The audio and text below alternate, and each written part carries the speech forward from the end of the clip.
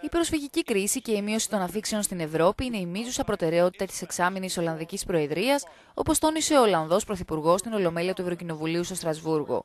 Ο Μάρκ Ρούτε, μάλιστα, ανακοίνωσε και το χρονοδιάγραμμα που θέτει για την επίτευξη αυτού του στόχου. Θα είμαι ξεκάθαρος. Οι σημερινοί αριθμοί δεν είναι βιώσιμοι. Ο χρόνος μας εξαντλείται. Χρειαζόμαστε μια σημαντική μείωση του αριθμού των προσφύγων κατά τις επόμενες 6 με 8 εβδομάδες. Ο πρόεδρος της Ευρωπαϊκής Επιτροπής από την πλευρά του κάλεσε την Ολλανδική Προεδρία να εργαστεί για να σώσει τη ζώνη Σέγγεν που απειλείται από τα κράτη-μέλη εκείνα που κλείνουν τα σύνορά τους λόγω των προσφυγικών ροών.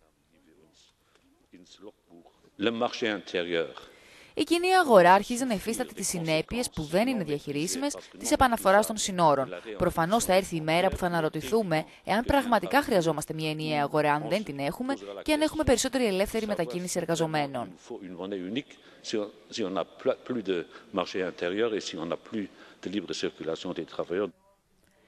Παράλληλα, το Μάρτιο η Κομισιόν αναμένεται να αναθεωρήσει τον κανονισμό του Διβλίνου για το άσυλο. Αυτό δηλαδή που μπαίνει στο στόχαστρο είναι ποια χώρα είναι υπεύθυνη να προχωρήσει τη διαδικασία αίτησης ασύλου.